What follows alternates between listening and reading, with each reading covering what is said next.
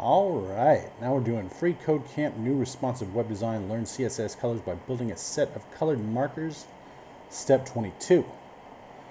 So if you don't know, a function is a piece of code that can take an input and perform a specific action. The CSS RGB function accepts values or arguments for red, green, and blue and produces a color.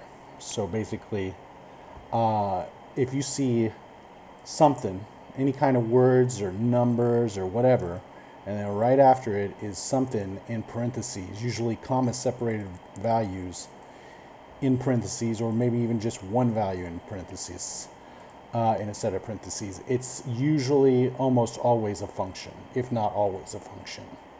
Uh, each red, green, and blue value is a number from 0 to 255. Uh, 0 means that there's 0% of that color in black, and is black.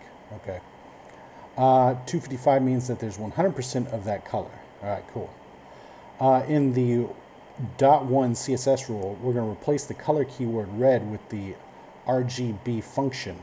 For the RGB function, we're going to set the value of red at 255 and the value of green to zero and the value of blue to zero. All right.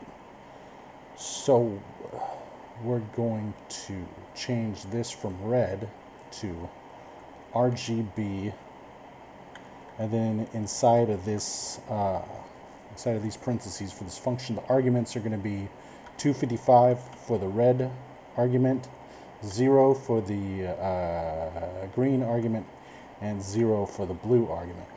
And you see right now it's uh, uh red right?